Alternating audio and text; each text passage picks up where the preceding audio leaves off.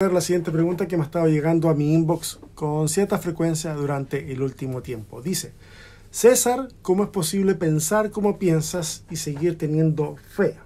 Bueno, para responder eso he tenido que dar una profunda mirada a mi interior identificar ciertas cosas que quiero compartirles. En ese ejercicio, en este ejercicio he podido identificar a tres personajes que viven dentro mío, por decirlo de alguna manera. Los tres son muy similares y muy distintos al mismo tiempo. Por ejemplo, los tres aman el texto bíblico con pasión, pero se acercan a él de maneras muy distintas. En primer lugar, y no lo menciono en orden de importancia, está este personaje, el académico de la Biblia, preocupado de aferrarse solo a la evidencia palpable que se puede obtener del texto bíblico y de las fuentes extrabíblicas complementarias.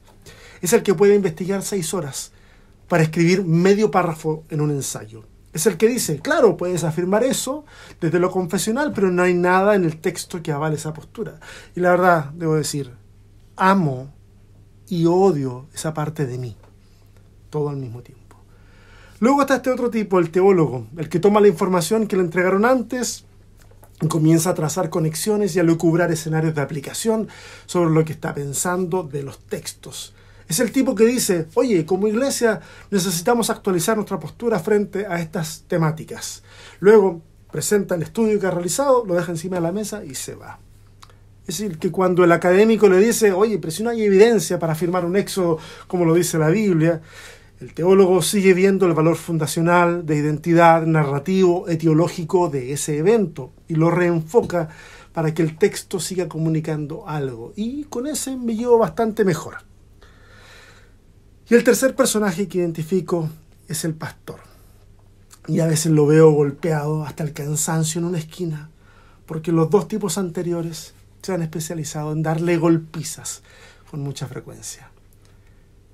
Es el encargado de tomar la información que colecta el académico y las conclusiones del teólogo y, y que desde su rol pastoral se rehúsa a ser condescendiente con las personas que le escuchan se rehúsa a tratarles como niños que no serán capaces de lidiar con la información. A pesar que desde lo formativo fue instruido en el seminario y en el instituto bíblico con las palabras que le decían, esas cosas no se hablan en la congregación. Bueno, este pastor es el que sabe que cuando abre la boca debe preocuparse no solo de decir lo que quiere decir, sino de las repercusiones que tendrá lo que va a decir en la vida y en la fe de las personas con las que camina. Y así, golpeado y aturdido, se levanta una y otra vez y decide que vale la pena seguir en el campo de juego, que vale la pena seguir caminando, que vale la pena seguir construyendo puentes de entendimiento entre lo académico, teológico y la fe, y entre la fe y la sociedad. Y creo que a pesar de estar siempre golpeado y molido como Rocky, el pastor siempre termina ganando en mi caso, porque le importan las personas y su fe. Y creo que es así, como puedo pensar como pienso y sobrevivir con fe. Y quiero animar a los pastores que me escuchan. Es tiempo de tratar a sus fieles como los adultos que son. No podemos infantilizarles pensando que hay cosas que no van a saber manejar. Yo siempre digo que hay una gran diferencia entre dar una manzana y dar un manzanazo. Así que la información la podemos dar de buena forma.